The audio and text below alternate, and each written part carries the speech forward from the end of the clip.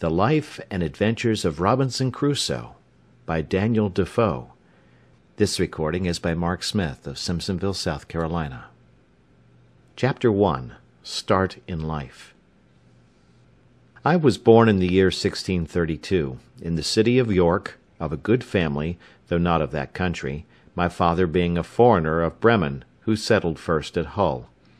He got a good estate by merchandise, and leaving off his trade, lived afterwards at York, from whence he had married my mother, whose relations were named Robinson, a very good family in that country, and from whom I was called Robinson Kreutznauer;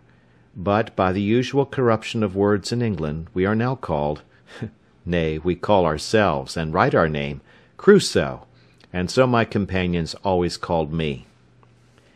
I had two elder brothers, one of whom was lieutenant colonel to an English regiment of foot in Flanders formerly commanded by the famous Colonel Lockhart, and was killed at the battle near Dunkirk, against the Spaniards. What became of my second brother I never knew, any more than my father or mother knew what became of me. Being the third son of the family, and not bred to any trade, my head began to be filled very early with rambling thoughts. My father, who was very ancient, had given me a competent share of learning, as far as house education and a country free school generally go, and designed me for the law; but I would be satisfied with nothing but going to sea, and my inclination to this led me so strongly against the will, nay, the commands of my father, and against all the entreaties and persuasions of my mother and other friends, that there seemed to be something fatal in that propensity of nature tending directly to the life of misery which was to befall me. My father, a wise and grave man, gave me serious and excellent counsel against what he foresaw was my design. He called me one morning into his chamber, where he was confined by the gout, and expostulated very warmly with me upon this subject.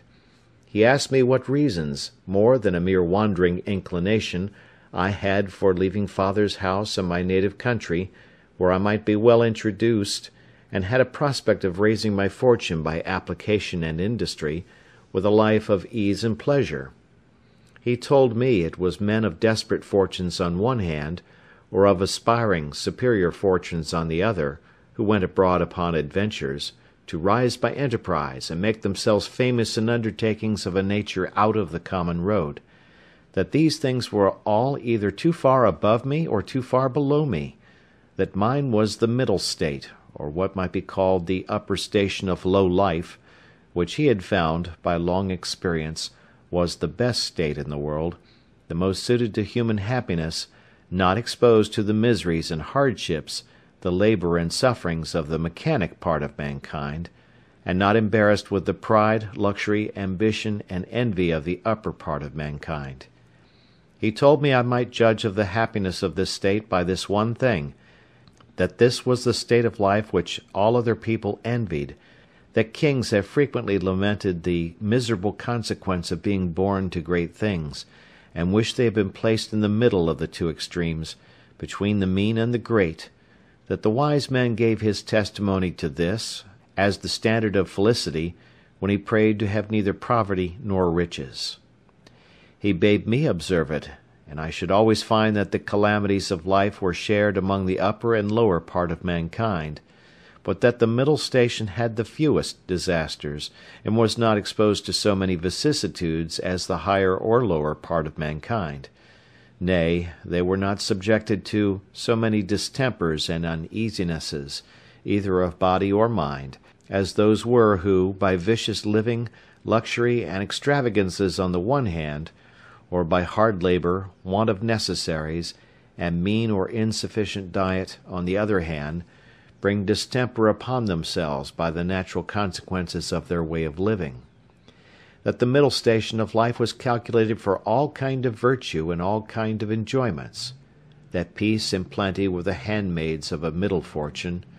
that temperance, moderation, quietness, health, society all agreeable diversions and all desirable pleasures, were the blessings attending the middle station of life; that this way men went silently and smoothly through the world, and comfortably out of it, not embarrassed with the labours of the hands or of the head, not sold to a life of slavery for daily bread, nor harassed with perplexed circumstances, which rob the soul of peace and the body of rest, nor enraged with the passion of envy, or the secret burning lust of ambition for great things; but in easy circumstances, sliding gently through the world, and sensibly tasting the sweets of living, without the bitter feeling that they are happy and learning by every day's experience to know it more sensibly. After this he pressed me earnestly, and in the most affectionate manner, not to play the young man, nor to precipitate myself into miseries which nature and the station of life I was born in seemed to have provided against; that I was under no necessity of seeking my bread; that he would do well for me, and endeavour to enter me fairly into the station of life which he had just been recommending to me; and that if I was not very easy and happy in the world, it must be my mere fate or fault that must hinder it; and that he should have nothing to answer for, having thus discharged his duty in warning me against measures which he knew would be to my hurt; in a word, that as he would do very kind things for me if I would stay and settle at home as he directed, so he would not have so much hand in my misfortunes as to give me any encouragement to go away; and to close all, he told me I had my elder brother for an example, to whom he had used the same earnest persuasions to keep him from going into the Low Country wars, but could not prevail, his young desires prompting him to run into the army, where he was killed; and though he said he would not cease to pray for me, yet he would venture to say to me that if I did take this foolish step, God would not bless me, and I should have leisure hereafter to reflect upon having neglected his counsel when there might be none to assist in my recovery. I observed in this last part of his discourse, which was truly prophetic, though I suppose my father did not know it to be so himself, I say, I observed the tears run down his face very plentifully, especially when he spoke of my brother who was killed and that when he spoke of my having leisure to repent, and none to assist me, he was so moved that he broke off the discourse, and told me his heart was so full he could say no more to me. I was sincerely affected with this discourse, and indeed who could be otherwise? and I resolved not to think of going abroad any more, but to settle at home according to my father's desire. But alas! a few days wore it all off and in short, to prevent any of my father's further importunities, in a few weeks after I resolved to run quite away from him. However, I did not act quite so hastily as the first heat of my resolution prompted, but I took my mother at a time when I thought her a little more pleasant than ordinary, and told her that my thoughts were so entirely bent upon seeing the world that I should never settle to anything with resolution enough to go through with it and my father had better give me his consent than force me to go without it; that I was now eighteen years old, which was too late to go apprentice to a trade or clerk to an attorney; that I was sure if I did I should never serve out my time, but I should certainly run away from my master before my time was out, and go to sea; and if she would speak to my father to let me go one voyage abroad, if I came home again, and did not like it, I would go no more and I would promise by a double diligence to recover the time that I had lost. This put my mother into a great passion; she told me she knew it would be to no purpose to speak to my father upon any such subject; that he knew too well what was my interest to give his consent to anything so much for my hurt; and that she wondered how I could think of any such thing after the discourse I had had with my father and such kind and tender expressions as she knew my father had used to me; and that, in short, if I would ruin myself, there was no help for me, but I might depend I should never have their consent to it; that for her part she would not have so much hand in my destruction, and I should never have it to say that my mother was willing when my father was not. Though my mother refused to move it to my father. Yet I heard afterwards that she reported all the discourse to him, and that my father, after showing a great concern at it, said to her, with a sigh, "That boy might be happy if he would stay at home. but if he goes abroad, he will be the most miserable wretch that ever was born. I can give no consent to it.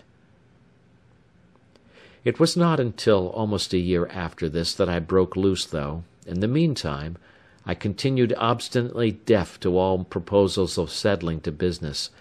and frequently expostulated with my father and mother about their being so positively determined against what they knew my inclinations prompted me to.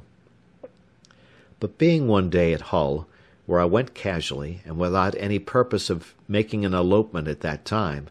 but, I say, being there, and one of my companions being about to sail to London in his father's ship, and prompting me to go with them with the common allurement of seafaring men,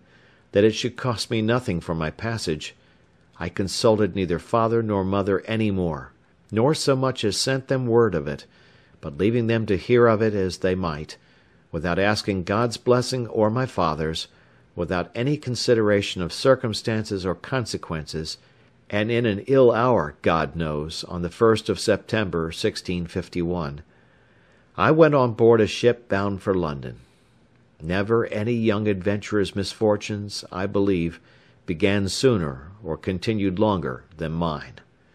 The ship was no sooner out of the Humber than the wind began to blow and the sea to rise in a most frightful manner;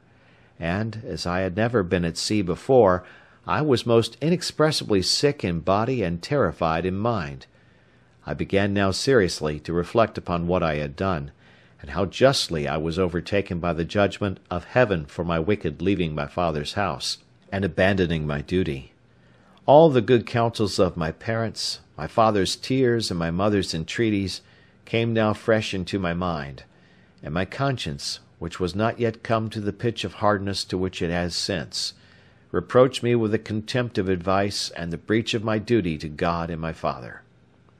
All this while the storm increased, and the sea went very high, though nothing like what I have seen many times since.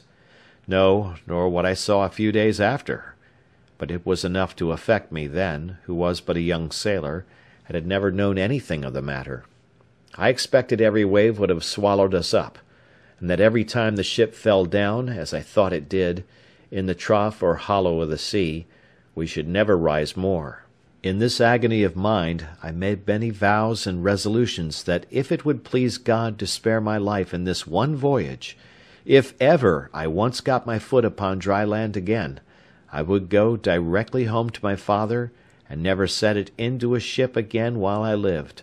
that I would take his advice, and never run myself into such miseries as these any more. Now I saw plainly the goodness of his observations about the middle station of life; how easy, how comfortably he had lived all his days, and never had been exposed to tempests at sea or troubles on shore; and I resolved that I would, like a true repenting prodigal, go home to my father. These wise and sober thoughts continued all the while the storm lasted, and indeed some time after. But the next day the wind was abated, and the sea calmer, and I began to be a little inured to it. However, I was very grave for all that day, being also a little sea sick still; but towards night the weather cleared up, the wind was quite over, and a charming fine evening followed. The sun went down perfectly clear, and arose so the next morning; and having little or no wind, and a smooth sea, the sun shining upon it. The sight was, as I thought, the most delightful that ever I saw. I had slept well in the night, and was now no more sea sick, but very cheerful, looking with wonder upon the sea that was so rough and terrible the day before, and could be so calm and so pleasant in so little a time after. And now, lest my good resolutions should continue, my companion, who had enticed me away, comes to me. "Well, Bob!" says he, clapping me upon the shoulder, "how do you do after it? I warrant you were frighted, weren't you, last night, when it blew but a capful of wind?" "A capful, do you call it?" said I. "'Twas a terrible storm." "A storm, you fool you!" replies he. "Do you call that a storm? Why, it was nothing at all. Give us but a good ship and sea room, and we think nothing of such a squall of wind as that. But you're but a fresh water sailor, Bob. Come, let us make a bowl of punch, and we'll forget all that. Do you see what charming weather 'tis now?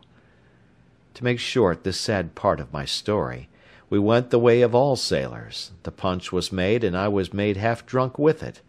and in that one night's wickedness I drowned all my repentance, all my reflections upon my past conduct, all my resolutions for the future. In a word, as the sea was returned to its smoothness of surface and settled calmness by the abasement of that storm,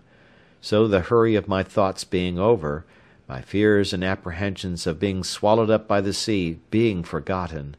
and the current of my former desires returned, I entirely forgot the vows and promises that I made in my distress. I found, indeed, some intervals of reflection, and the serious thoughts did, as it were, endeavour to return again sometimes; but I shook them off, and roused myself from them as it were from a distemper, and applying myself to drinking and company, soon mastered the return of those fits, for so I called them and I had in five or six days got as complete a victory over conscience as any young fellow that resolved not to be troubled with it could desire. But I was to have another trial for it still; and Providence, as in such cases generally it does, resolved to leave me entirely without excuse; for if I would not take this for a deliverance, the next was to be such a one as the worst and most hardened wretch among us would confess both the danger and the mercy of. The sixth day of our being at sea, we came into Yarmouth Roads; the wind having been contrary and the weather calm, we had made but little way since the storm. Here we were obliged to come to an anchor, and here we lay, the wind continuing contrary, viz. at south west, for seven or eight days, during which time a great many ships from Newcastle came into the same roads as the common harbour where the ships might wait for a wind for the river. We had not, however, rid here so long that we should have tided it up the river, but that the wind blew too fresh, and after we had lain four or five days, blew very hard. However, the roads being reckoned as good as a harbour, the anchorage good, and our ground tackle very strong, our men were unconcerned, and not in the least apprehensive of danger but spent the time in rest and mirth, after the manner of the sea; but the eighth day, in the morning, the wind increased, and we had all hands at work to strike our topmasts, and make everything snug and close, that the ship might ride as easy as possible. By noon the sea went very high indeed, and our ship rode forecastle in, shipped several seas, and we thought once or twice our anchor had come home; upon which our master ordered out the sheet anchor so that we rode with two anchors ahead, and the cables veered out to the bitter end. By this time it blew a terrible storm indeed, and now I began to see terror and amazement in the faces even of the seamen themselves. The master, though vigilant in the business of preserving the ship, yet as he went in and out of his cabin by me, I could hear him softly to himself say, several times, Lord, be merciful to us; we shall be all lost; we shall be all undone; and the like. During these first hurries I was stupid, lying still in my cabin, which was in the steerage, and cannot describe my temper. I could ill resume the first penitence which I had so apparently trampled upon and hardened myself against. I thought the bitterness of death had been passed, and that this would be nothing like the first; but when the master himself came by me as I said just now, and said we should be all lost, I was dreadfully frighted. I got up out of my cabin and looked out, but such a dismal sight I never saw. The sea ran mountains high, and broke upon us every three or four minutes. When I could look about, I could see nothing but distress round us; two ships that rode near us, we found, had cut their masts by the board, being deep laden and our men cried out that a ship which rode about a mile ahead of us was foundered. Two more ships, being driven from their anchors, were run out of the roads to sea, at all adventures, and that with not a mast standing. The light ships fared the best, as not so much labouring in the sea, but two or three of them drove, and came close by us, running away with only their spritsail out before the wind. Towards evening the mate and boatswain begged the master of our ship to let them cut away the foremast, which he was very unwilling to do; but the boatswain protesting to him that if he did not the ship would founder, he consented, and when they had cut away the foremast, the mainmast stood so loose and shook the ship so much they were obliged to cut that away also, and make a clear deck.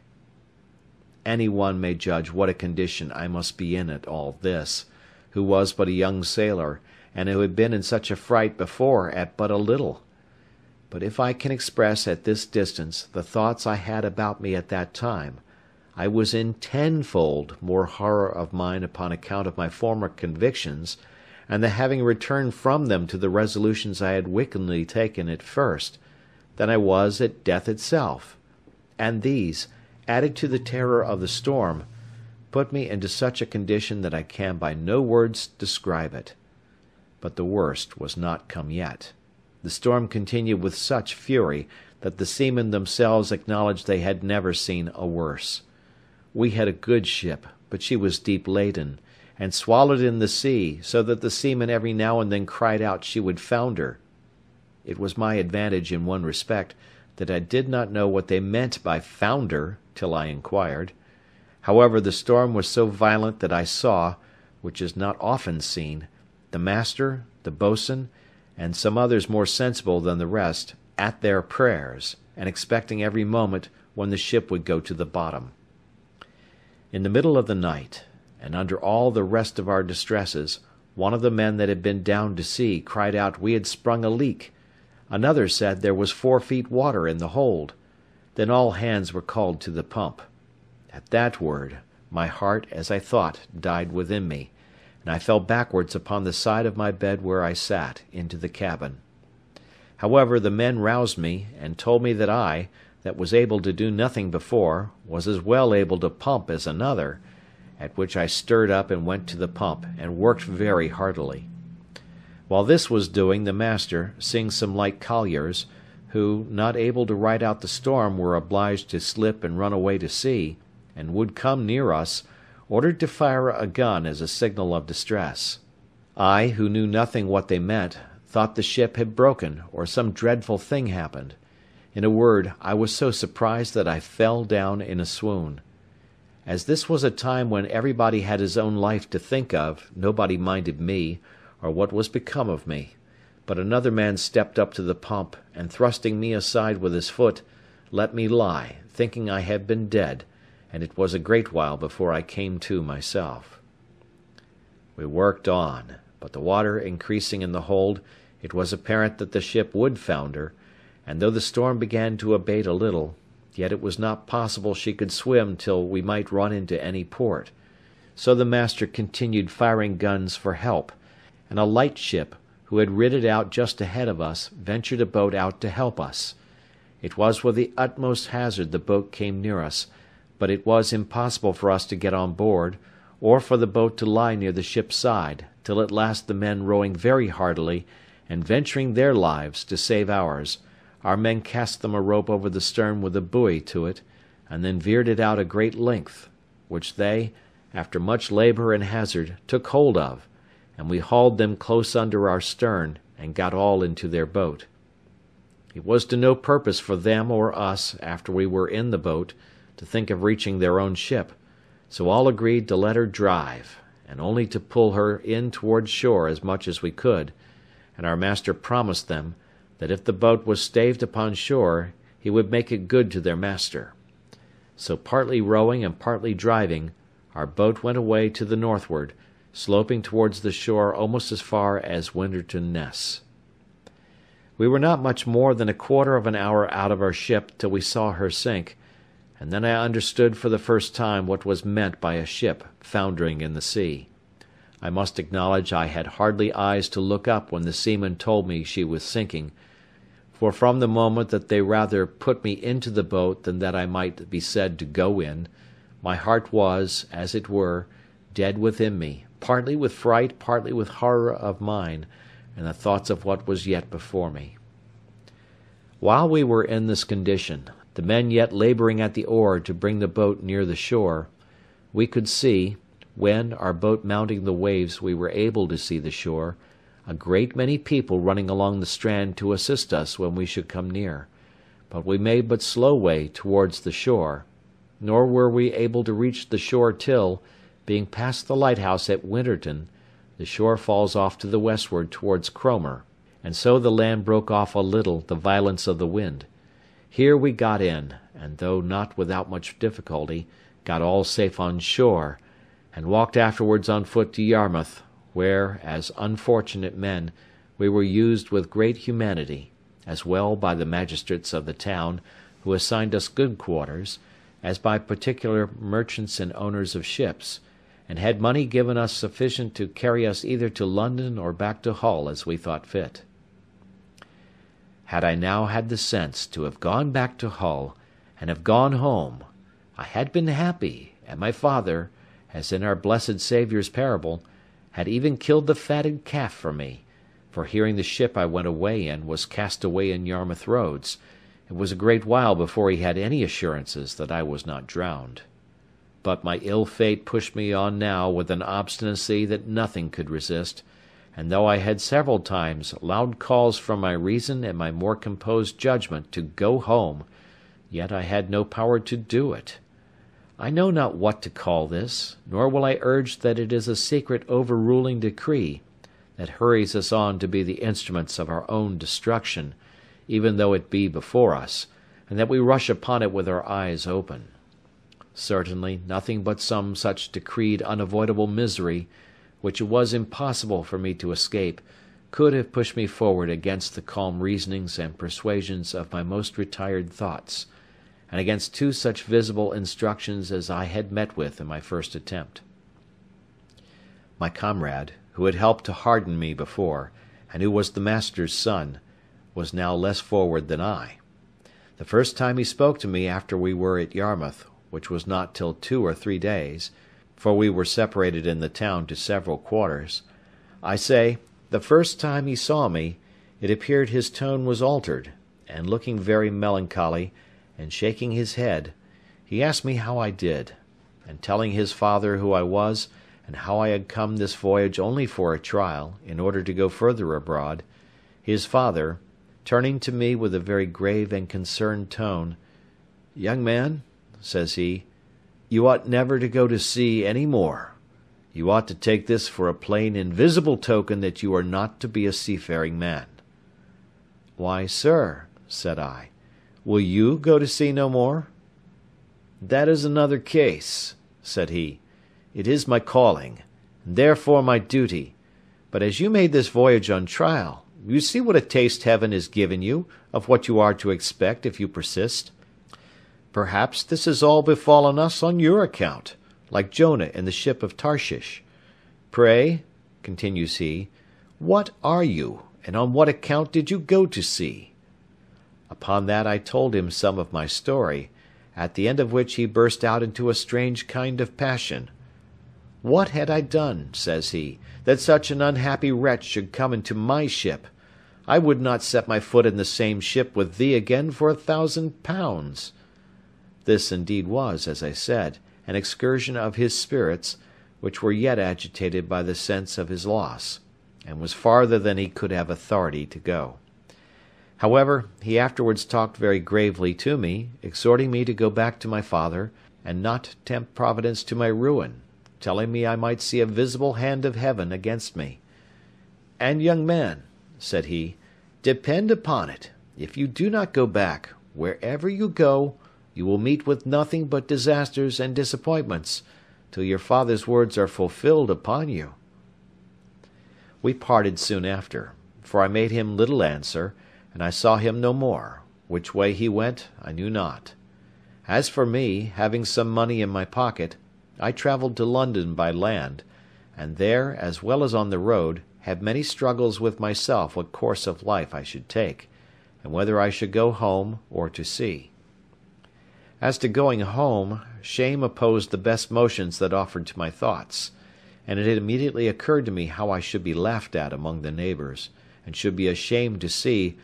not my father and mother only, but even everybody else; from whence I have since often observed how incongruous and irrational the common temper of mankind is,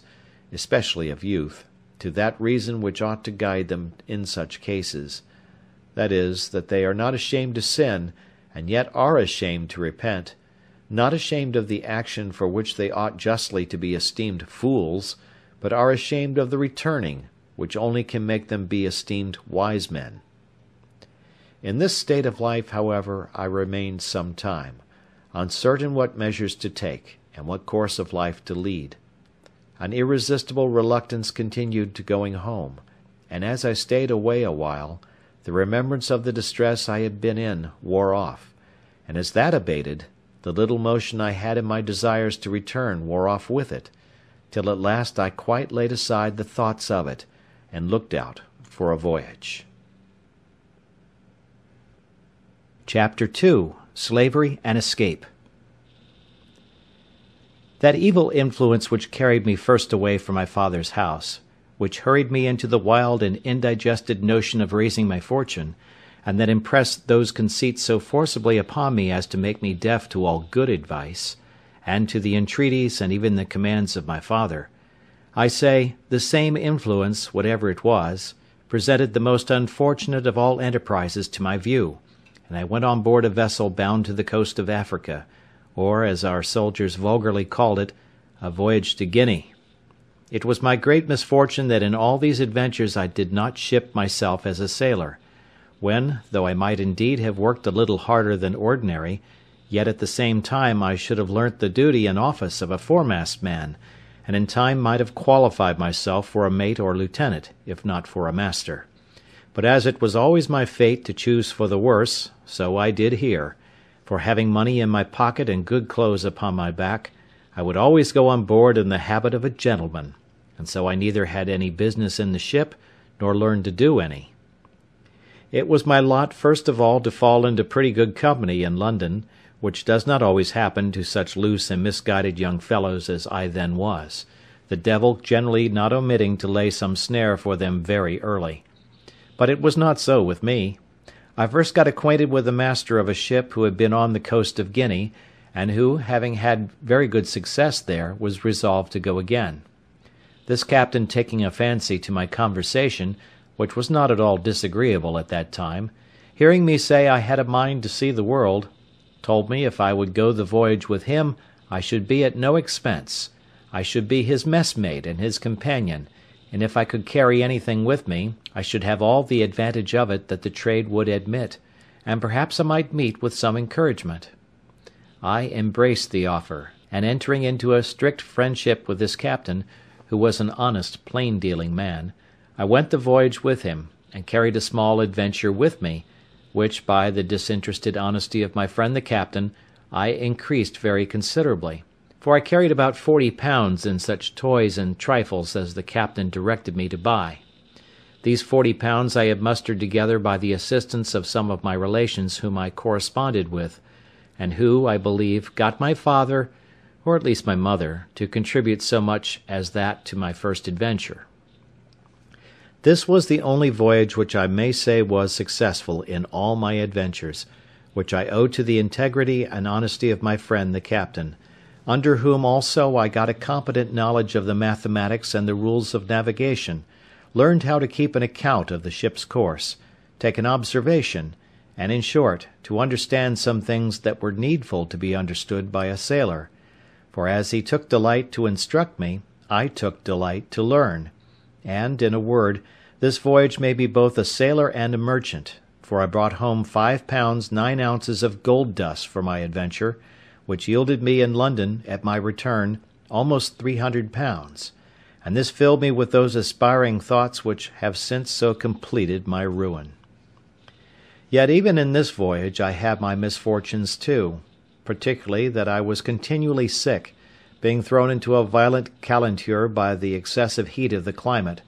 our principal trading being upon the coast, from latitude of 15 degrees north even to the line itself. I was now set up for a Guinea trader, and my friend, to my great misfortune, dying soon after his arrival, I resolved to go the same voyage again, and I embarked in the same vessel with one who was his mate in the former voyage, had now got command of the ship. This was the unhappiest voyage that ever man made, for though I did not carry quite one hundred pounds of my new gained wealth, so that I had £200 left, which I lodged with my friend's widow, who was very just to me, yet I fell into terrible misfortunes. The first was this: our ship making her course towards the Canary Islands, or rather between those islands and the African shore, was surprised in the grey of the morning by a Turkish rover of Sallee, who gave chase to us with all the sail she could make. We crowded also as much canvas as our yards would spread, or our masts carry, to get clear;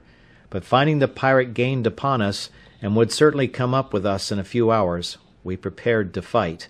Our ship having twelve guns, and the rogue eighteen. About three in the afternoon he came up with us, and bringing to, by mistake, just athwart our quarter, instead of athwart our stern, as he intended, we brought eight of our guns to bear on that side, and poured in a broadside upon him, which made him sheer off again, after returning our fire, and pouring in also his small shot from near two hundred men which he had on board. However, we had not a man touched, all our men keeping close. He prepared to attack us again, and we to defend ourselves; but laying us on board the next time upon our other quarter, he entered sixty men upon our decks, who immediately fell to cutting and hacking the sails and rigging. We plied them with small shot, half pikes, powder chests, and such like, and cleared our deck of them twice. However, to cut short this melancholy part of our story our ship being disabled, and three of our men killed and eight wounded, we were obliged to yield, and were carried all prisoners into Sallee, a port belonging to the Moors. The usage I had there was not so dreadful as at first I apprehended, nor was I carried up the country to the emperor's court, as the rest of our men were, but was kept by the captain of the rover as his proper prize, and made his slave, being young and nimble, and fit for his business. At this surprising change of my circumstances, from a merchant to a miserable slave, I was perfectly overwhelmed; and now I looked back upon my father's prophetic discourse to me, that I should be miserable and have none to relieve me, which I thought was now so effectually brought to pass that I could not be worse; for now the hand of Heaven had overtaken me, and I was undone without redemption. But, alas! this was but a taste of the misery I was to go through, as will appear in the sequel of this story. As my new patron, or master, had taken me home to his house, so I was in hopes that he would take me with him when he went to sea again, believing that it would some time or other be his fate to be taken by a Spanish or Portugal man of war, and that then I should be set at liberty. But this hope of mine was soon taken away, for when he went to sea, he left me on shore to look after his little garden, and do the common drudgery of slaves about his house; and when he came home again from his cruise, he ordered me to lie in the cabin to look after the ship. Here I meditated nothing but my escape, and what method I might take to effect it, but found no way that had the least probability in it; nothing presented to make the supposition of it rational, for I had nobody to communicate it to that would embark with me. No fellow slave, no Englishman, Irishman, or Scotchman there but myself; so that for two years, though I often pleased myself with the imagination, yet I never had the least encouraging prospect of putting it in practice.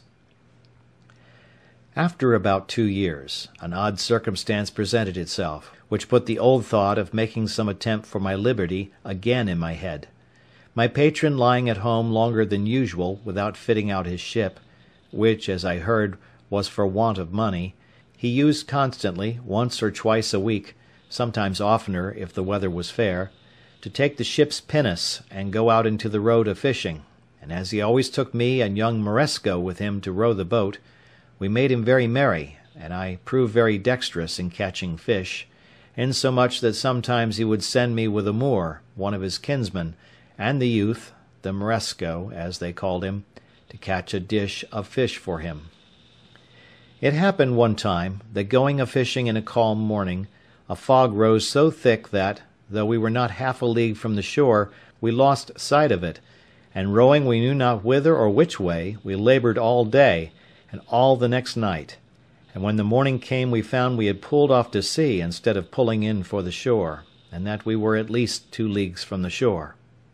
However, we got well in again though with a great deal of labour and some danger, for the wind began to blow pretty fresh in the morning, but we were all very hungry. But our patron, warned by this disaster, resolved to take more care of himself for the future; and having lying by him the long boat of our English ship that he had taken, he resolved he would not go a fishing any more without a compass and some provision;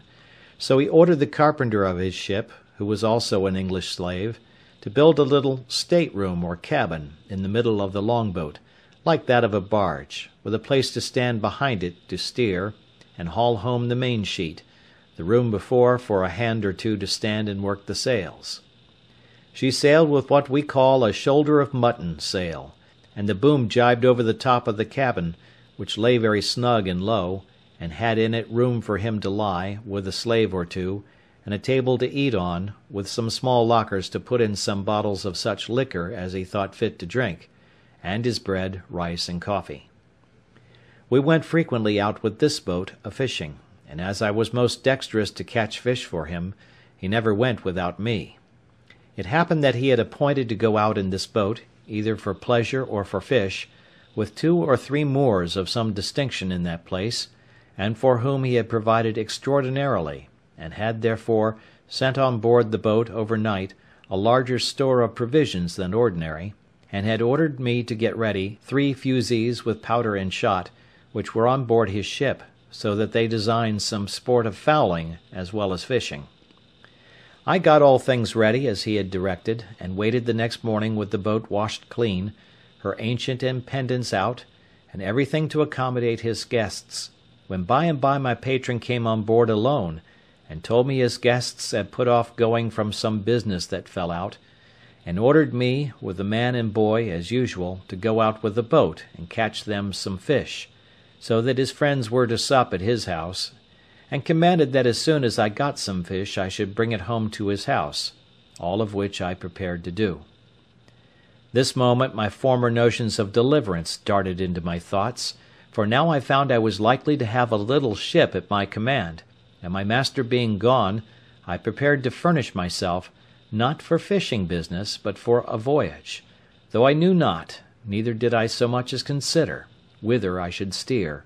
anywhere to get out of that place was my desire. My first contrivance was to make a pretence to speak to this Moor, to get something for our subsistence on board; for I told him we must not presume to eat of our patron's bread. He said that was true, so he brought a large basket of rusk or biscuit, and three jars of fresh water, into the boat. I knew where my patron's case of bottles stood, which it was evident, by the make, were taken out of some English prize, and I conveyed them into the boat while the Moor was on shore, as if they had been there before for our master. I conveyed also a great lump of beeswax into the boat, which weighed about half a hundredweight, with a parcel of twine or thread, a hatchet, a saw, and a hammer, all of which were of great use to us afterwards, especially the wax, to make candles. Another trick I tried upon him, which he innocently came into also. His name was Ismail, which they call Muley or Moly, so I called to him, "Moly," said I, "our patron's guns are on board the boat. Can you not get a little powder and shot? It may be we may kill some alcamies (a fowl like our curlews) for ourselves, for I know he keeps the gunner's stores in the ship." "Yes," says he. I'll bring some." And accordingly he brought a great leather pouch, which held a pound and a half of powder, or rather more, and another with shot, that had five or six pounds, with some bullets, and put all into the boat. At the same time I had found some powder of my master's in the great cabin, with which I filled one of the large bottles in the case, which was almost empty, pouring what was in it into another; and thus furnished with everything needful, we sailed out of the port to fish. The castle, which is at the entrance of the port, knew who we were, and took no notice of us; and we were not above a mile out of port before we hauled in our sail and set us down to fish. The wind blew from the north north east, which was contrary to my desire; for had it blown southerly I had been sure to have made the coast of Spain, and at least reached to the Bay of Cadiz; but my resolutions were, blow which way it would. I would be gone from that horrid place where I was, and leave the rest to fate. After we had fished some time and caught nothing, for when I had fish on my hook I would not pull them up, that he might not see them, I said to the Moor, This will not do, our master will not be thus served, we must stand farther off. He, thinking no harm, agreed, and being in the head of the boat, set the sails; and, as I had the helm, I ran the boat out near a league farther, and then brought her to, as if I would fish, when, giving the boy the helm, I stepped forward to where the Moor was, and making as if I stooped for something behind him, I took him by surprise with my arm under his waist, and tossed him clear overboard into the sea. He rose immediately, for he swam like a cork, and called to me, begged to be taken in, told me he would go all over the world with me. He swam so strong after the boat that he would have reached me very quickly, there being but little wind, upon which I stepped into the cabin, and fetching one of the fowling pieces, I presented it at him, and told him I had done him no hurt, and if he would be quiet, I would do him none. But, said I, you swim well enough to reach to the shore, and the sea is calm. Make the best of your way to shore, and I will do you no harm. But if you come near the boat, I'll shoot you through the head, for I am resolved to have my liberty. So he turned himself about, and swam for the shore, and I make no doubt but he reached it with ease, for he was an excellent swimmer. I could have been content to have taken this Moor with me, and have drowned the boy, but there was no venturing to trust him. When he was gone I turned to the boy, whom they called Xury, and said to him, Xury, if you will be faithful to me, I'll make you a great man; but if you will not stroke your face to be true to me, that is, swear by Mahomet and his father's beard, I must throw you into the sea too. The boy smiled in my face, and spoke so innocently that I could not distrust him, and swore to be faithful to me, and go all over the world with me. While I was in view of the Moor that was swimming, I stood out directly to sea with the boat, rather stretching to windward, that they might think me gone toward the strait's mouth, as indeed any one that had been in their wits must have been supposed to do. For who would have supposed we were sailed on to the southward, to the truly barbarian coast, where whole nations of negroes were sure to surround us with their canoes and destroy us; where we could not go on shore but we should be devoured by savage beasts, or more merciless savages of human kind? But as soon as it grew dusk in the evening I changed my course, and steered directly south and by east, bending my course a little towards the east, that I might keep in with the shore and having a fair fresh gale of wind, and a smooth quiet sea, I made such sail that I believe by the next day, at three o'clock in the afternoon, when I first made the land, I could not be less than one hundred and fifty miles south of Sallee, quite beyond the Emperor of Morocco's dominions, or indeed of any other king thereabouts, for we saw no people. Yet such was the fright I had taken of the Moors, and the dreadful apprehensions I had of falling into their hands, that I would not stop, or go on shore, or come to an anchor, the wind continuing fair till I had sailed in that manner five days, and then the wind shifting to the southward, I concluded also that if any of our vessels were in chase of me, they also would now give over; so I ventured to make to the coast, and came to an anchor in the mouth of a little river, I knew not what, nor where, neither what latitude, what country, what nation, or what river. I neither saw nor desired to see any people; the principal thing I wanted was fresh water. We came into this creek in the evening, resolving to swim on shore as soon as it was dark, and discover the country; but as soon as it was quite dark, we heard such dreadful noises of the barking, roaring, and howling of wild creatures, of we knew not what kinds, that the poor boy was ready to die with fear, and begged of me not to go on shore till day. "Well, Xury," said I then I won't. But it may be that we may see men by day, who will be as bad to us as those lions." "Then we give them the shoot gun," says Xury, laughing. "Make them run way." Such English Xury spoke by conversing among us slaves. However, I was glad to see the boy so cheerful, and I gave him a dram, out of our patron's case of bottles, to cheer him up. After all, Xury's advice was good, and I took it. We dropped our little anchor, and lay still all night. I say still, for we slept none; for in two or three hours we saw vast great creatures, we knew not what to call them, of many sorts, come down to the seashore and run into the water, wallowing and washing themselves for the pleasure of cooling themselves, and they made such hideous howlings and yellings that I never indeed heard the like.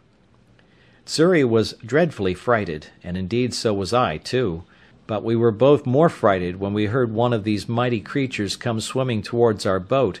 we could not see him, but we might hear him by his blowing to be a monstrous, huge, and furious beast. Xury said it was a lion, and it might be so for aught I know; but poor Xury cried to me to weigh the anchor and row away. "No," says I, "Xury, we can slip our cable, with the buoy to it and go off to sea; they cannot follow us far." I had no sooner said so, but I perceived the creature, whatever it was, within two oars' length, which somewhat surprised me; however, I immediately stepped to the cabin door, and taking up my gun, fired at him, upon which he immediately turned about and swam towards the shore again.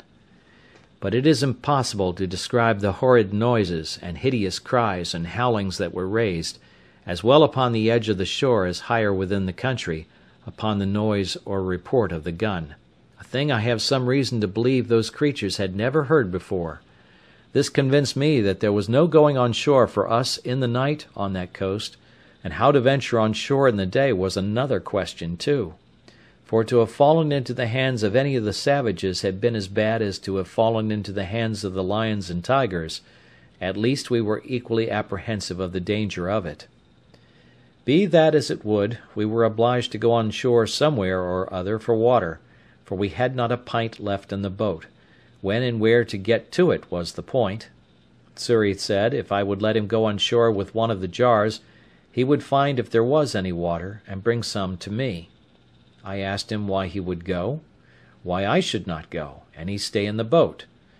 The boy answered with so much affection as made me love him ever after. Says he, if wild man come, they eat me, you go way."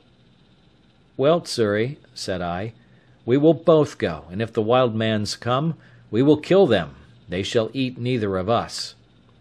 So I gave Xury a piece of rusk bread to eat, and a dram out of our patron's case of bottles which I mentioned before, and we hauled the boat in as near the shore as we thought was proper, and so waded on shore, carrying nothing but our arms and two jars for water. I did not care to go out of sight of the boat, fearing the coming of canoes with savages down the river; but the boy seeing a low place about a mile up the country, rambled to it, and by and by I saw him come running towards me. I thought he was pursued by some savage, or frighted with some wild beast, and I ran forward towards him to help him, but when I came nearer to him I saw something hanging over his shoulders, which was a creature that he had shot, like a hare, but different in colour and longer legs. However, we were very glad of it, and it was very good meat; but the great joy that poor Xury came with was to tell me he had found good water and seen no wild mans.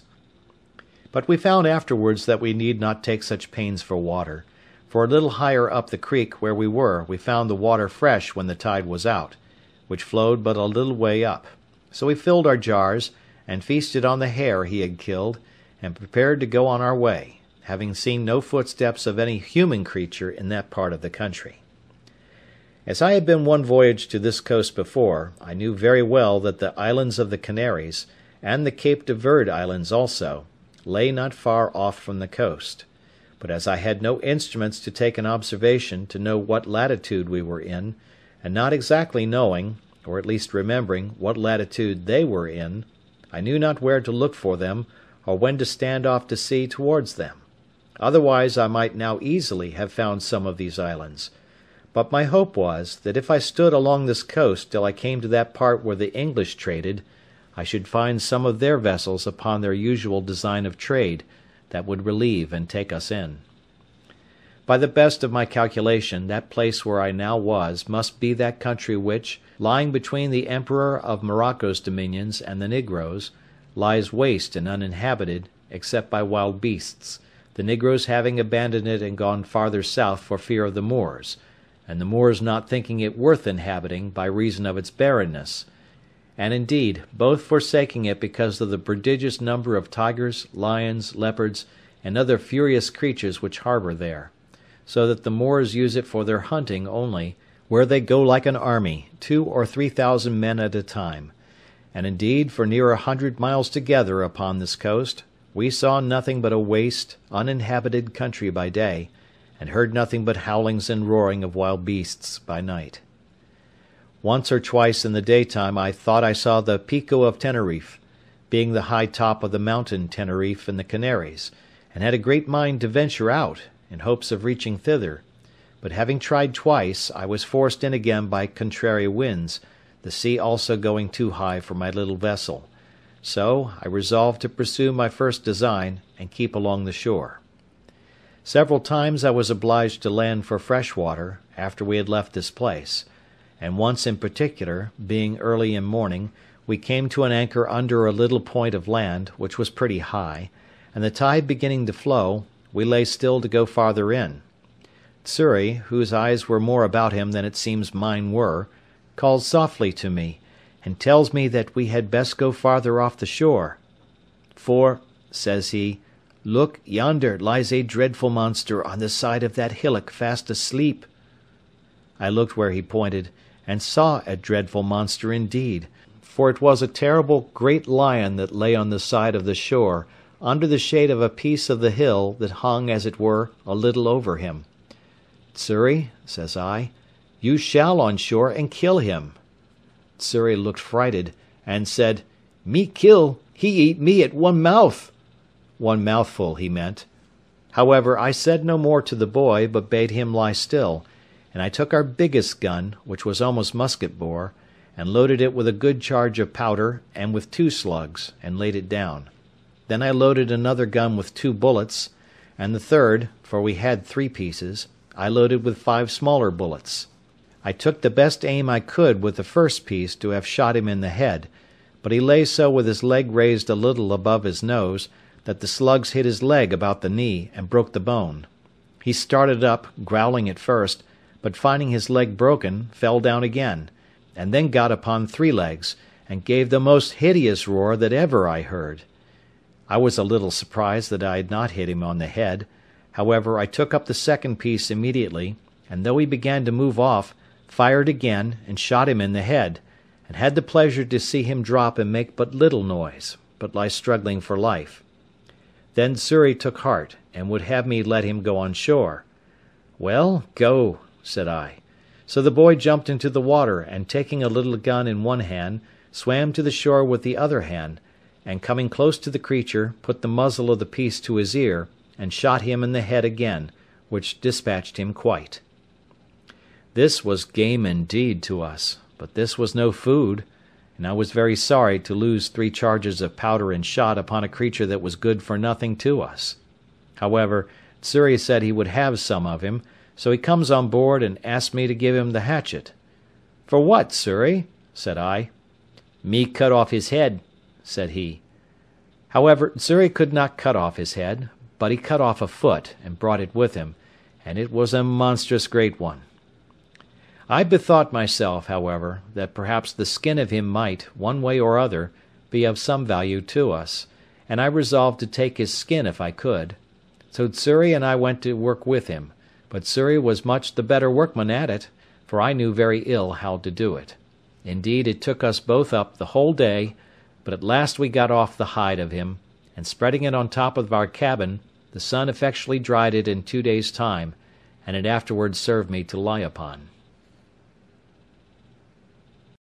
CHAPTER III WRECKED on a Desert Island After this stop we made on to the southward continually for ten or twelve days, living very sparingly on our provisions, which began to abate very much, and going no oftener to the shore than we were obliged to for fresh water. My design in this was to make the river Gambia or Senegal,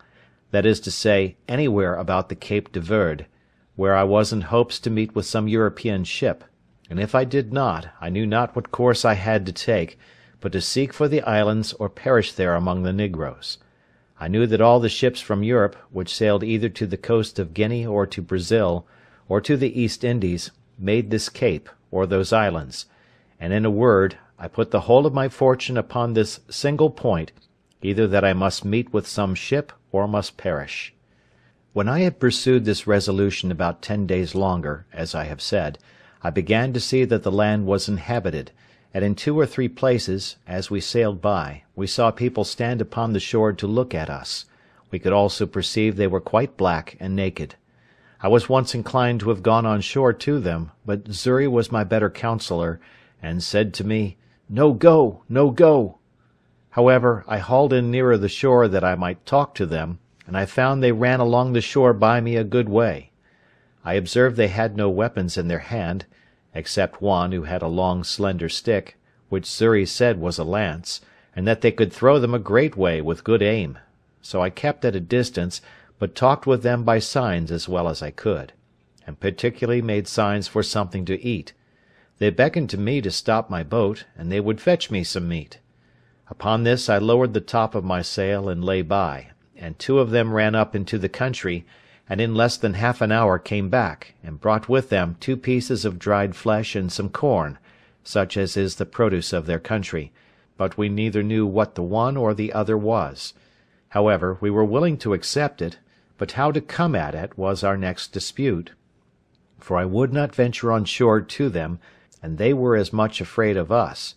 but they took a safe way for us all, for they brought it to the shore and laid it down and went and stood a great way off till we fetched it on board, and then came close to us again.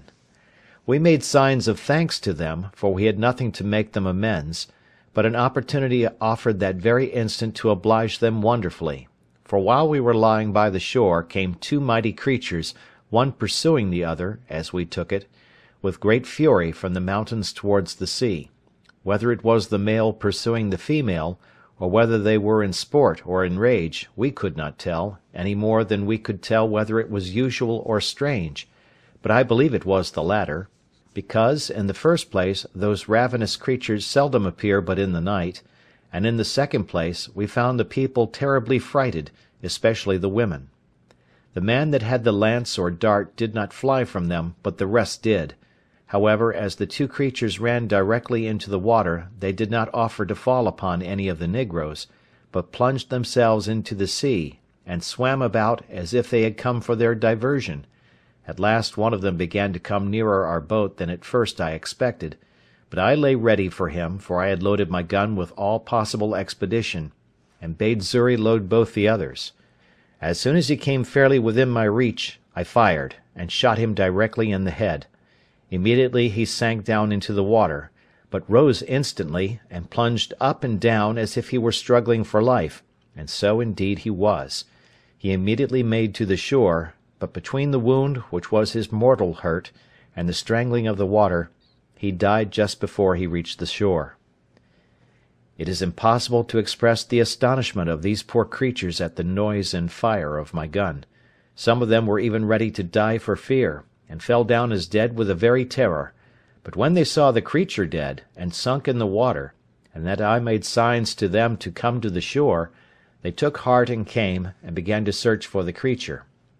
I found him by his blood staining the water, and by the help of a rope, which I slung round him, and gave the negroes to haul, they dragged him on shore, and found that it was a most curious leopard, spotted, and fine to an admirable degree and the negroes held up their hands with admiration, to think what it was I had killed him with.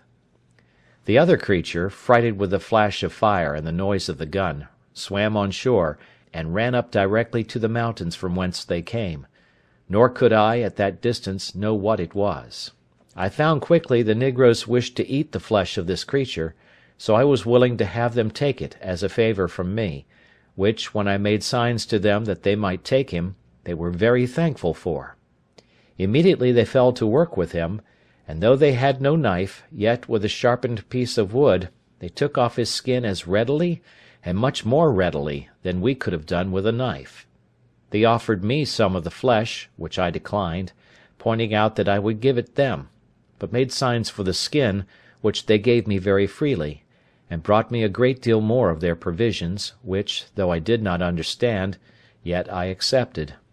I then made signs to them for some water, and held out one of my jars to them, turning it bottom upward, to show that it was empty, and that I wanted to have it filled. They called immediately to some of their friends, and there came two women, and brought a great vessel made of earth, and burnt, as I supposed, in the sun; this they set down to me as before, and I sent Xury on shore with my jars, and filled them all three. The women were as naked as the men. I was now furnished with roots and corn, such as it was, and water; and leaving my friendly negroes, I made forward for about eleven days more, without offering to go near the shore, till I saw the land run out a great length into the sea, at about the distance of four or five leagues before me; and the sea being very calm, I kept a large offing to make this point. At length, doubling the point, at about two leagues from the land, I saw plainly land on the other side to seaward; then I concluded, as it was most certain indeed, that this was the Cape de Verd, and those the islands called, from thence, Cape de Verd Islands. However, they were at a great distance, and I could not well tell what I had best to do; for if I should be taken with a fresh of wind, I might neither reach one or other. In this dilemma, as I was very pensive. I stepped into the cabin and sat down, Xury having the helm, when, on a sudden, the boy cried out, "Master, master, a ship with a sail!" and the foolish boy was frighted out of his wits, thinking it must needs be some of his master's ships sent to pursue us; but I knew we were far enough out of their reach. I jumped out of the cabin, and immediately saw, not only the ship, but that it was a Portuguese ship, and, as I thought, was bound to the coast of Guinea, for negroes. But when I observed the course she steered, I was soon convinced they were bound some other way, and did not design to come any nearer to the shore; upon which I stretched out to sea as much as I could, resolving to speak with them, if possible. With all the sail I could make, I found I should not be able to come in their way, but that they would be gone by before I could make any signal to them; but after I had crowded to the utmost, and began to despair. They, it seems, saw by the help of their glasses that it was some European boat, which they supposed must belong to some ship that was lost; so they shortened sail to let me come up. I was encouraged with this, and as I had my patron's ancient on board, I made a waft of it to them, for a signal of distress, and fired a gun, both which they saw; for they told me they saw the smoke, though they did not hear the gun. Upon these signals they very kindly brought to, and lay by for me, and in about three hours' time I came up with them. They asked me what I was, in Portuguese, and in Spanish, and in French, but I understood none of them; but at last a Scotch sailor, who was on board, called to me, and I answered him, and told him I was an Englishman, that I had made my escape out of slavery from the Moors, at Sallee. They then bade me come on board, and very kindly took me in, and all my goods. It was an inexpressible joy to me, which any one will believe, that I was thus delivered, as I esteemed it, from such a miserable and almost hopeless condition as I was in; and I immediately offered all I had to the captain of the ship as a return for my deliverance; but he generously told me he would take nothing from me, but that all I had should be delivered safe to me when I came to the Brazils. "For," says he, "I have saved your life on no other terms than I would be glad to be saved myself; and it may, one time or other, be my lot to be taken up in the same condition. Besides," said he, "when I carry you to the Brazils, so great a way from your own country, if I should take from you what you have, you will be starved there, and then I only take away that life I have given. No, no," says he, Signor Inglese. Mr. Englishman, I will carry you thither in charity, and those things will help to buy your subsistence there, and your passage home again." As he was charitable in this proposal, so he was just in the performance to a tittle, for he ordered the seamen that none should touch anything that I had; then he took everything into his own possession, and gave me back an exact inventory of them, that I might have them, even to my three earthen jars. As to my boat, it was a very good one, and that he saw, and told me he would buy it of me for his ship's use, and asked me what I would have for it. I told him he had been so generous to me in everything that I could not offer to make any price of the boat, but left it entirely to him; upon which he told me he would give me a note of hand, to pay me eighty pieces of eight for it at Brazil; and when it came there, if any one offered to give more, he would make it up. He offered me also sixty pieces of eight more for my boy Xury, which I was loath to take, not that I was unwilling to let the captain have him, but I was very loath to sell the poor boy's liberty, who had assisted me so faithfully in procuring my own. However, when I let him know my reason, he owned it to be just, and offered me this medium, that he would give the boy an obligation to set him free in ten years, if he turned Christian. Upon this, and Xury saying he was willing to go to him, I let the captain have him. We had a very good voyage to the Brazils, and I arrived in the Bay de Todos los Santos, or All Saints' Bay, in about twenty-two days after. And now I was once more delivered from the most miserable of all conditions of life, and what to do next with myself I was to consider. The generous treatment the captain gave me I can never enough remember. He would take nothing of me for my passage, gave me twenty ducats for the leopard's skin, and forty for the lion's skin, which I had in my boat, and caused everything I had in the ship to be punctually delivered to me, and what I was willing to sell he bought of me, such as the case of bottles, two of my guns, and a piece of the lump of beeswax, for I had made candles of the rest. In a word, I made about two hundred and twenty pieces of eight of all my cargo, and with this stock I went on shore in the Brazils. I had not been long here before I was recommended to the house of a good honest man like himself, who had an ingenio, as they call it, that is, a plantation and a sugar house. I lived with him some time, and acquainted myself by that means with the manner of planting and making of sugar; and seeing how well the planters lived, and how they got rich suddenly, I resolved, if I could get a licence to settle there, I would turn planter among them, resolving in the meantime to find out some way to get my money, which I had left in London, remitted to me. To this purpose, getting a kind of letter of naturalisation. I purchased as much land that was uncured as my money could reach, and formed a plan for my plantation and settlement, such a one as might be suitable to the stock which I proposed to myself to receive from England. I had a neighbour, a Portuguese, of Lisbon, but born of English parents, whose name was Wells, and in much such circumstances as I was. I call him my neighbour, because his plantation lay next to mine, and we went on very sociably together. My stock was but low, as well as his, and we rather planted for food than anything else, for about two years. However, we began to increase, and our land began to come into order, so that the third year we planted some tobacco, and made each of us a large piece of ground ready for planting canes in the year to come. But we both wanted help, and now I found, more than before, I had done wrong in parting with my boy Xury. But, alas! for me to do wrong that never did right, was no great wonder. I had no remedy but to go on. I had got into an employment quite remote to my genius, and directly contrary to the life I delighted in, and for which I forsook my father's house, and broke through all his good advice. Nay, I was coming into the very middle station, or upper degree of low life, which my father advised me to before and which, if I resolved to go on with, I might as well have stayed at home, and never have fatigued myself in the world as I had done; and I used often to say to myself, I could have done this as well in England, among my friends, as have gone five thousand miles off to do it among strangers and savages, in a wilderness, and at such a distance as never to hear from any part of the world that had the least knowledge of me. In this manner I used to look upon my condition with the utmost regret. I had nobody to converse with, but now and then this neighbour; no work to be done, but by the labour of my hands; and I used to say, I lived just like a man cast away upon some desolate island,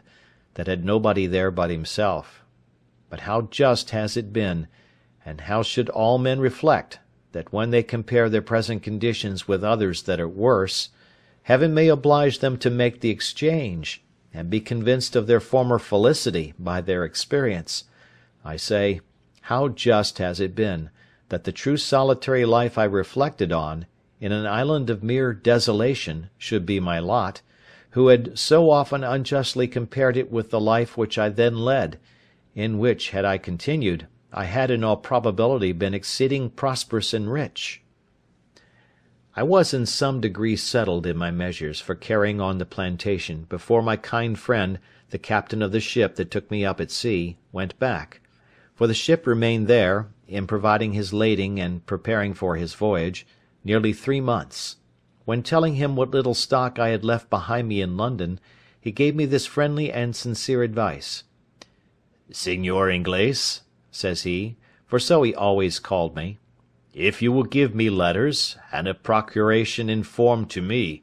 with orders to the person who has your money in London to send your effects to Lisbon, to such persons as I shall direct, and in such goods as are proper for this country, I will bring you the produce of them, God willing, at my return. But since human affairs are all subject to changes and disasters, I would have you give orders but for one hundred pounds sterling, which, you say, is half your stock, and let the hazard be run for the first; so that, if it comes safe, you may order the rest the same way, and, if it miscarry, you may have the other half to have recourse to for your supply."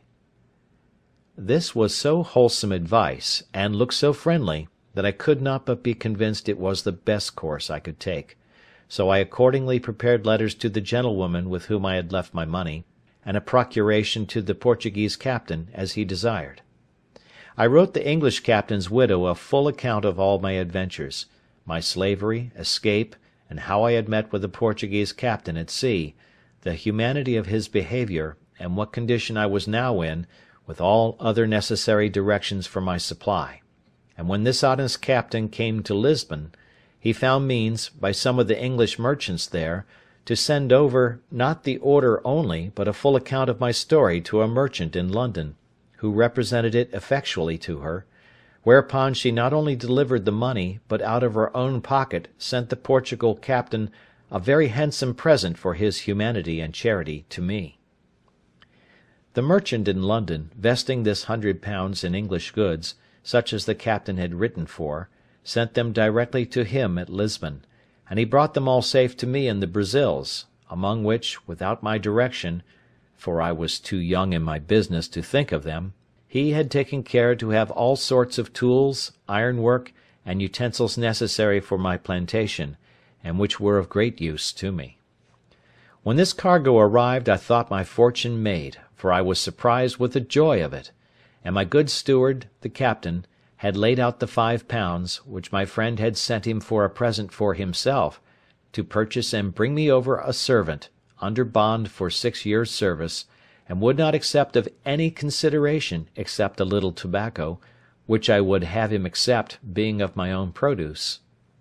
Neither was this all for my goods being all English manufacture, such as cloths, stuffs, baize, and things particularly valuable and desirable in the country, I found means to sell them to a very great advantage, so that I might say I had more than four times the value of my first cargo, and was now infinitely beyond my poor neighbour; I mean in the advancement of my plantation, for the first thing I did, I bought me a negro slave, and a European servant also. I mean another besides that which the captain brought me from Lisbon. But as abused prosperity is oftentimes made the very means of our greatest adversity, so it was with me. I went on the next year with great success in my plantation. I raised fifty great rolls of tobacco on my own ground, more than I had disposed of for necessaries among my neighbours; and these fifty rolls, being each of above a hundredweight, were well cured and laid by against the return of the fleet from Lisbon; and now increasing in business and wealth, my head began to be full of projects and undertakings beyond my reach, such as are, indeed, often the ruin of the best heads in business. Had I continued in the station I was now in, I had room for all the happy things to have yet befallen me for which my father so earnestly recommended a quiet retired life and of which he had so sensibly described the middle station of life to be full of. But other things attended me, and I was still to be the wilful agent of all my own miseries, and particularly, to increase my fault, and double the reflections upon myself, which in my future sorrows I should have leisure to make; all these miscarriages were procured by my apparent obstinate adhering to my foolish inclination of wandering abroad, and pursuing that inclination, in contradiction to the clearest views of doing myself good in a fair and plain pursuit of those prospects, and those measures of life, which nature and Providence concurred to present me with, and to make my duty. As I had once done thus in my breaking away from my parents, so I could not be content now, but I must go and leave the happy view I had of being a rich and thriving man in my new plantation, only to pursue a rash and immoderate desire of rising faster than the nature of the thing admitted; and thus I cast myself down again into the deepest gulf of human misery that ever man fell into, or perhaps could be consistent with life and a state of health in the world. To come, then, by the just degrees to the particulars of this part of my story. You may suppose, that having now lived almost four years in the Brazils, and beginning to thrive and prosper very well upon my plantation, I had not only learned the language, but had contracted acquaintance and friendship among my fellow planters, as well as among the merchants at San Salvador, which was our port; and that, in my discourses among them, I had frequently given them an account of my two voyages to the coast of Guinea the manner of trading with the negroes there, and how easy it was to purchase upon the coast for trifles, such as beads, toys, knives, scissors, hatchets, bits of glass, and the like, not only gold dust, guinea grains, elephants' teeth, etc., but negroes, for the service of the Brazils, in great numbers. They listened always very attentively to my discourses on these heads but especially to that part which related to the buying of negroes, which was a trade at that time, not only far entered into, but, as far as it was, had been carried on by asientos, or permission of the kings of Spain and Portugal, and engrossed in the public stock, so that few negroes were bought, and these excessively dear. It happened, being in company with some merchants and planters of my acquaintance, and talking of those things very earnestly, Three of them came to me next morning, and told me they had been musing very much upon what I had discoursed with them of the last night, and they came to make a secret proposal to me; and, after enjoining me to secrecy, they told me that they had a mind to fit out a ship to go to Guinea, that they had all plantations as well as I, and were straitened for nothing so much as servants; that as it was a trade that could not be carried on, because they could not publicly sell the negroes when they came home. So they desired to make but one voyage, to bring the negroes on shore privately, and divide them among their own plantations; and, in a word, the question was whether I would go their supercargo in the ship, to manage the trading part upon the coast of Guinea; and they offered me that I should have my equal share of the negroes, without providing any part of the stock. This was a fair proposal, it must be confessed had it been made to any one that had not had a settlement and a plantation of his own to look after, which was in a fair way of coming to be very considerable, and with a good stock upon it; but for me, that was thus entered and established, and had nothing to do but to go on as I had begun, for three or four years more, and to have sent for the other hundred pounds from England, and who in that time, and with that little addition, could scarce have failed of being worth three or four thousand pounds sterling and that increasing too. For me to think of such a voyage was the most preposterous thing that ever man in such circumstances could be guilty of. But I, that was born to be my own destroyer, could no more resist the offer than I could restrain my first rambling designs when my father's good counsel was lost upon me. In a word, I told them I would go with all my heart, if they would undertake to look after my plantation in my absence and would dispose of it to such as I should direct, if I miscarried. This they all engaged to do, and entered into writings or covenants to do so; and I made a formal will, disposing of my plantation and effects in case of my death, making the captain of the ship that had saved my life, as before, my universal heir, but obliging him to dispose of my effects as I had directed in my will; one half of the produce being to himself and the other to be shipped to England. In short, I took all possible caution to preserve my effects and to keep up my plantation. Had I used half as much prudence to have looked into my own interest, and have made a judgment of what I ought to have done and not to have done, I had certainly never gone away from so prosperous an undertaking, leaving all the probable views of a thriving circumstance, and gone upon a voyage to sea, attended with all its common hazards, to say nothing of the reasons I had to expect particular misfortunes to myself. But I was hurried on, and obeyed blindly the dictates of my fancy rather than my reason; and, accordingly, the ship being fitted out, and the cargo furnished, and all things done, as by agreement, by my partners in the voyage, I went on board in an evil hour, the 1st of September 1659, being the same day eight years that I went from my father and mother at Hull, in order to act the rebel to their authority, and the fool to my own interests. Our ship was about one hundred and twenty tons burden, carried six guns and fourteen men, besides the master, his boy, and myself. We had on board no large cargo of goods, except of such toys as were fit for our trade with the negroes, such as beads, bits of glass, shells, and other trifles, especially little looking glasses, knives, scissors, hatchets, and the like. The same day I went on board we set sail, standing away to the northward upon our own coast, with design to stretch over for the African coast when we came about ten or twelve degrees of northern latitude, which, it seems, was the manner of course in those days.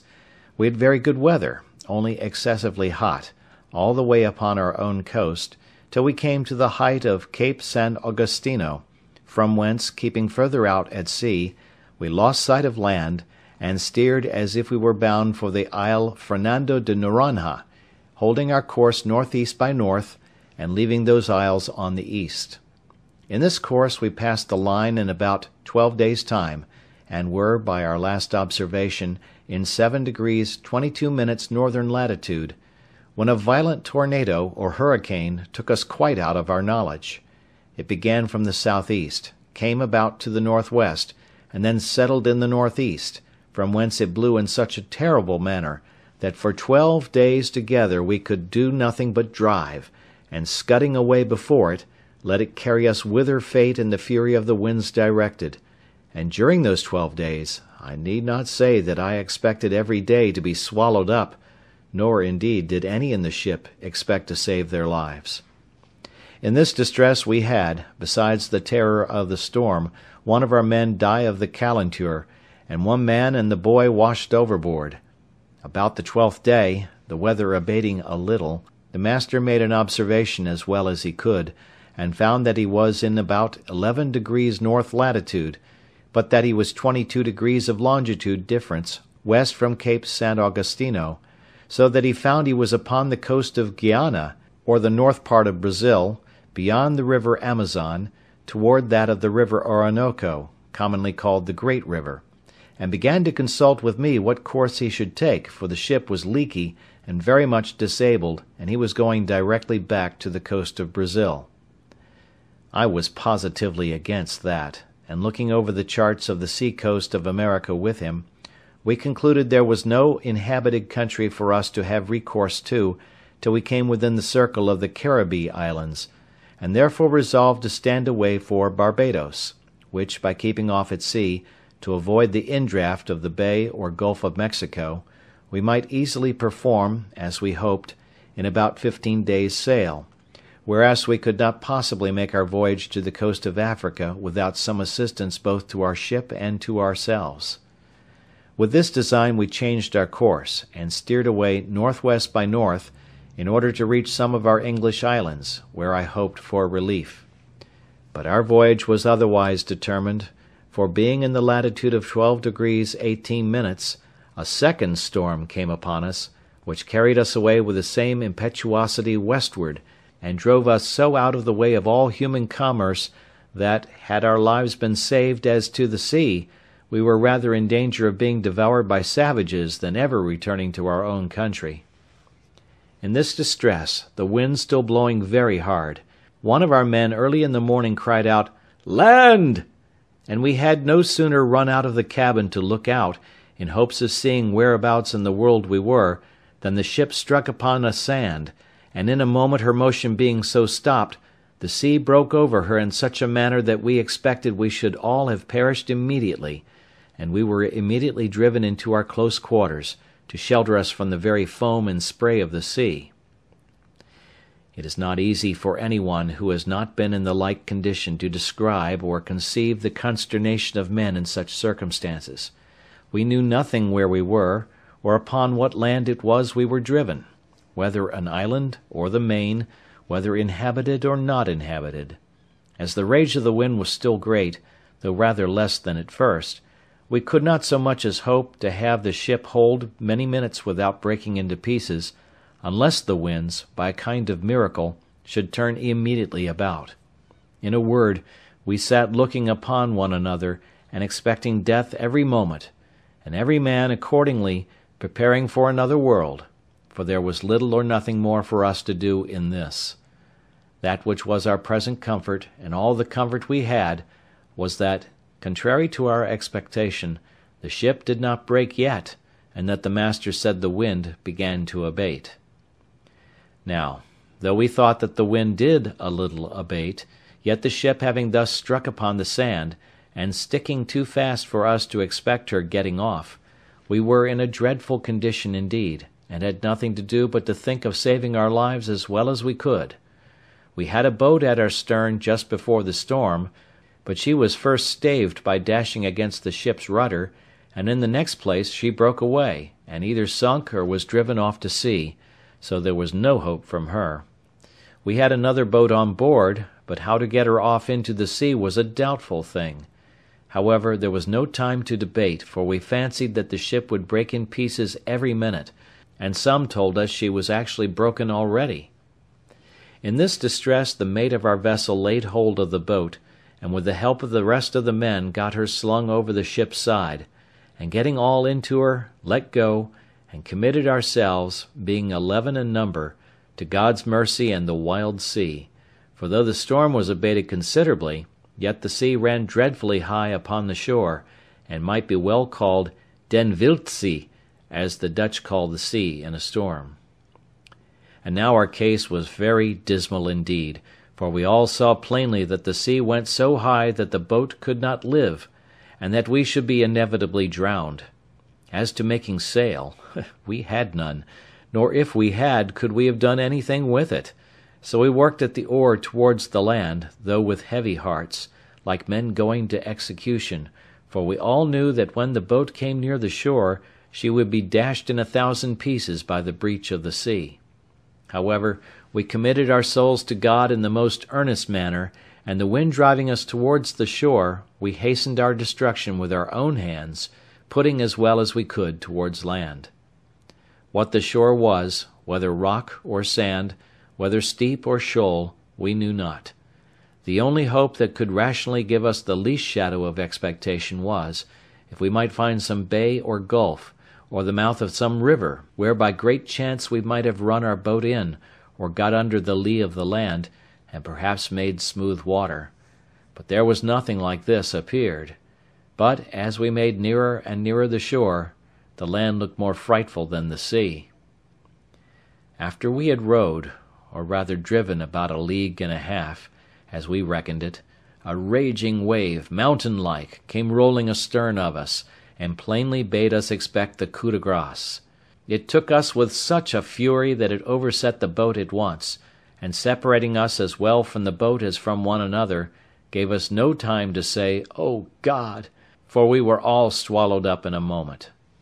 Nothing can describe the confusion of thought which I felt when I sank into the water for though I swam very well, yet I could not deliver myself from the wave so as to draw breath, till that wave having driven me, or rather carried me, a vast way on towards the shore, and having spent itself, went back, and left me upon the land almost dry, but half dead with the water I took in.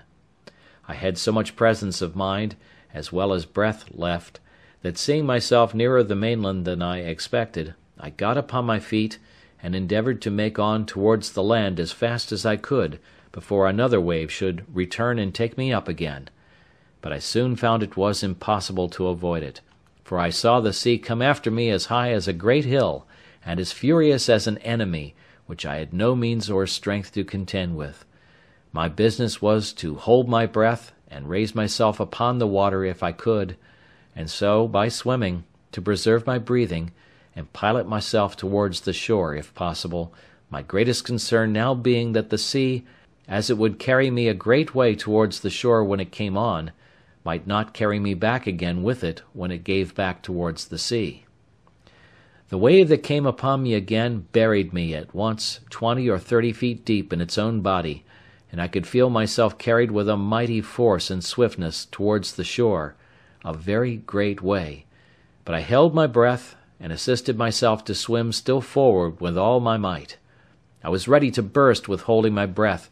but, as I felt myself rising up, so to my immediate relief I found my head and hands shoot out above the surface of the water and though it was not two seconds of time that I could keep myself so, yet it relieved me greatly, gave me breath, and new courage. I was covered again with water a good while, but not so long but I held it out, and finding the water had spent itself, and began to return, I struck forward against the return of the waves, and felt ground again with my feet. I stood still a few moments to recover breath, and till the waters went from me, and then took to my heels and ran with what strength I had further towards the shore. But neither would this deliver me from the fury of the sea, which came pouring in after me again, and twice more I was lifted up by the waves and carried forward as before, the shore being very flat. The last time of these two had well nigh been fatal to me, for the sea having hurried me along as before, landed me, or rather dashed me, against a piece of rock and that with such force that it left me senseless, and indeed helpless, as to my own deliverance; for the blow taking my side and breast, beat the breath as it were quite out of my body, and had it returned again immediately, I must have been strangled in the water; but I recovered a little before the return of the waves, and seeing I should be covered again with the water, I resolved to hold fast by a piece of the rock, and so to hold my breath, if possible, till the wave went back. Now, as the waves were not so high as at first, being nearer land, I held my hold till the wave abated, and then fetched another run, which brought me so near the shore that the next wave, though it went over me, yet did not so swallow me up as to carry me away; and the next run I took, I got to the mainland, where to my great comfort I clambered up the cliffs of the shore and sat me down upon the grass, free from danger and quite out of the reach of the water. I was now landed and safe on shore, and began to look up and thank God that my life was saved, in a case wherein there was some minutes before scarce any room to hope. I believe it was impossible to express, to the life, what the ecstasies and transports of the soul are, when it is so saved, as I may say, out of the very grave; and I do not wonder now at the custom, when a malefactor, who has the halter around his neck, is tied up, and just going to be turned off, and has a reprieve brought to him, I say, I do not wonder that they bring a surgeon with it, to let him blood that very moment they tell him of it, that the surprise may not drive the animal spirits from the heart and overwhelm him. For sudden joys, like griefs, confound at first. I walked about on the shore lifting up my hands, and my whole being, as I may say, wrapped up in a contemplation of my deliverance, making a thousand gestures and motions which I cannot describe, reflecting upon all my comrades that were drowned, and that there should not be one soul saved but myself; for, as for them, I never saw them afterwards, or any sign of them, except three of their hats, one cap, and two shoes that were not fellows. I cast my eye to the stranded vessel, when, the breach in the froth of the sea being so big I could hardly see it, it lay so far off; and considered, Lord, how was it possible I could get on shore? After I had solaced my mind with the comfortable part of my condition, I began to look around me, to see what kind of place I was in, and what was next to be done; and I soon found my comforts abate and that, in a word, I had a dreadful deliverance; for I was wet, had no clothes to shift me, nor anything either to eat or drink to comfort me; neither did I see any prospect before me but that of perishing with hunger or being devoured by wild beasts; and that which was particularly afflicting to me was, that I had no weapon, either to hunt and kill any creature for my sustenance, or to defend myself against any other creature that might desire to kill me for theirs. In a word, I had nothing about me but a knife, a tobacco pipe, and a little tobacco in a box. This was all my provisions, and this threw me into such terrible agonies of mind, that for a while I ran about like a madman. Night coming upon me, I began with a heavy heart to consider what would be my lot if there were any ravenous beasts in that country, as at night they always come abroad for their prey. All the remedy that offered to my thoughts at that time was to get up into a thick bushy tree like a fir, but thorny, which grew near me, and where I resolved to sit all night, and consider the next day what death I should die, for as yet I saw no prospect of life. I walked about a furlong from the shore, to see if I could find any fresh water to drink, which I did, to my great joy; and having drank, and put a little tobacco into my mouth to prevent hunger, I went to the tree, and getting up into it, endeavoured to place myself so that if I should sleep I might not fall; and having cut me a short stick, like a truncheon, for my defence, I took up my lodging, and having been excessively fatigued, I fell fast asleep, and slept as comfortably as, I believe, few could have done in my condition, and found myself more refreshed with it than, I think, I ever was on such an occasion.